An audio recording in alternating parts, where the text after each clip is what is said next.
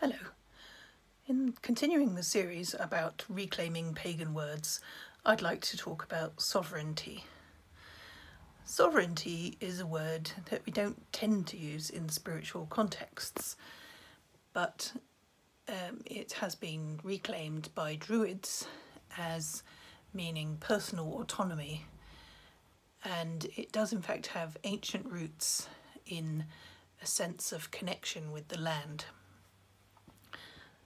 So when we think of ancient pagan kingship, the king became the king by virtue of marrying the goddess of the land or the goddess of sovereignty.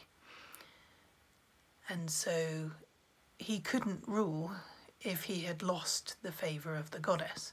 That's why in the epic series of tales known as the Mabinogion, when King Math is made king, he has a sacred footholder called Goewin, and unfortunately, she gets raped by two characters, two of the other characters, and they are suitably punished by getting turned into um, various creatures.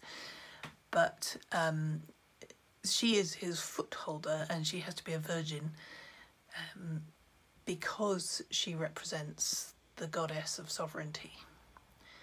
Uh, later on, we see the concept of sovereignty um, discussed by Chaucer in The Wife of Bath's Tale.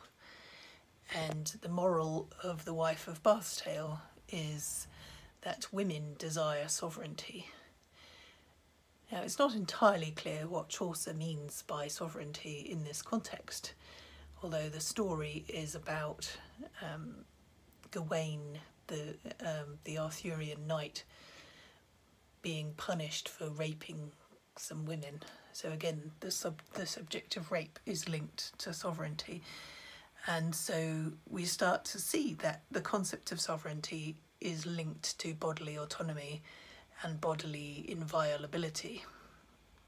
So sovereignty is definitely closely linked with feminist ideas um, of consent and the sacredness of the body and the inviolability of the body.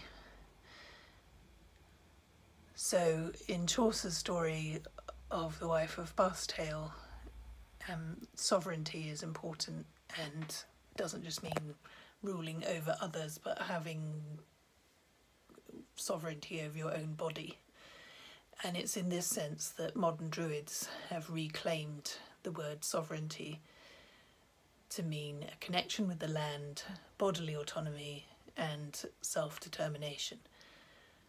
So it's not just a word that's reserved for royalty, it's for all of us to assert our inviolable sacred self.